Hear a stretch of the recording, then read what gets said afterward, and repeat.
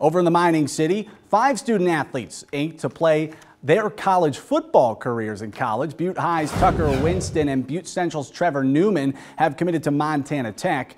BC's Thomas McGree continues the family legacy after signing with Carroll College.